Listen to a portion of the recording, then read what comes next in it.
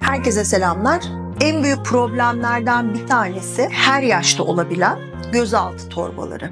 İleri yaşlarda yağ bezlerinin ya da yağ petlerinin sarkmasıyla ortaya çıkan, genç yaşlarda da genetik olarak ortaya çıkan bir sorun gözaltı torbası ve gerçekten gözaltı torbası hastalar öyle söylüyorlar çok yorgun görüntü veriyor. Çok doğru. Bence de yani yüzde yorgun görüntünün en önemli sebeplerinden bir tanesi gözaltı torbası. Gözaltı torbasının büyüklüğüne göre tedavi şekillendirilebilir. Eğer büyük bir torbaysa bunu kamufle etmek zor. Küçük bir torbaysa o zaman gözaltı dolgusuyla kamufle edebiliyoruz. Büyük bir torba ise bu gözaltı torbası. Elimizle gözaltı torbasının yani o yağ petini e, inceltecek, küçültecek, lizis yapacak çeşitli moleküller var. Hatta bunlar gözaltı torbası için özel yapılmış. Yani gözaltı torba küçültme yani Türkçesini söylüyorum.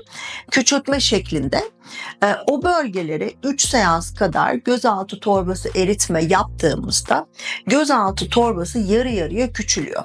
Ben yarı yarıya diyeyim çok vaatkar olmayayım tarzımı biliyorum e, dinleyenler en az yarı yarıya diyeyim üstü de oluyor ama hani minimum yarı yarıya gidiyor bu torba.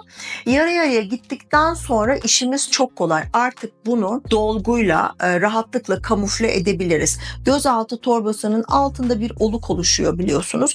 O oluğa dolgu yapıldığında gözaltı torbası ile oluk aynı seviyeye geliyor. Çok daha güzel dinç bir görüntü ortaya çıkıyor. Ama büyük torbaysa muhakkak eritme işlemi yapmak gerekiyor.